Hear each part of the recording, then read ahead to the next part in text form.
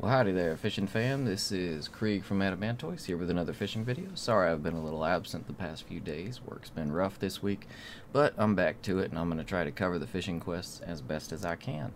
Today we're looking at the level 84 fishing leve. What would you do for a pickle? I think it's level 84. I don't have it on me, but it's level 84, level, level 85. You're actually going to need to go back to an older zone. Uh, we are here in Authard in the Ruby Sea.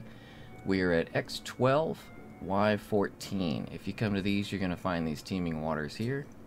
Level 85 teeming waters. I am level 87. I don't think these actually showed up for me until I hit level 85. So let me know if you guys are finding these below a level 85 because I think that's been a question among the angling community.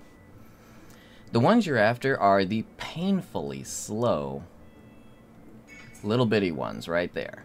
Not those slightly faster ones, but the painfully slow. You'll know you've got a pickle if you think if you feel like you could actually make a count before you, the fish reaches where you could spear it. That's your pickle. And unfortunately, they're not nearly as common as I would like them to be. See, the other small ones here are the red gurnads. Gurnards. Oops. See, there's one right there, but I didn't use baited breath to pull him out.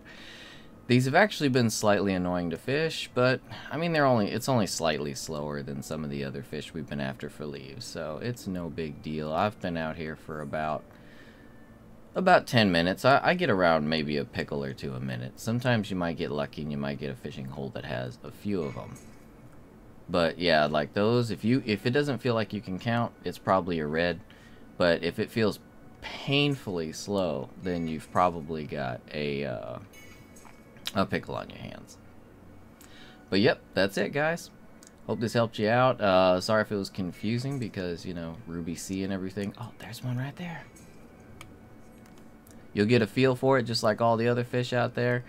But anyway, like, subs, all that stuff is up to you. By the way, if you guys want any fish covered, if you're curious, if you have any questions about any angling, even if I haven't found it yet, in my spare time, if you guys are wondering, let me know in the comments. I'll hunt down the information or I'll hunt down the fish. I'll go I'll go into every hole until I find it. So just let me know. I'm just here to try and help save you guys some time. So hope these videos are doing that for you. Hope you're enjoying Endwalker.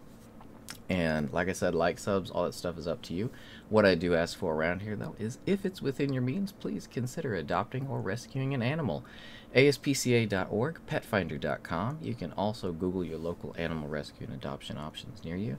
If you can't bring home an animal, there's other ways you can help out those critters in need, such as donating maybe some time or funds to a local charity organization that focuses on animal welfare and saving. Um, just be sure and adoption. Just be sure that you research them beforehand to make their make sure they're a good organization.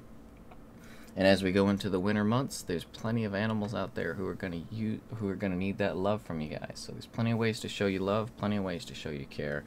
So show them what you got. Speaking of love, I love you guys. Remember, buy your fun, not your fam. Adopt, don't shop.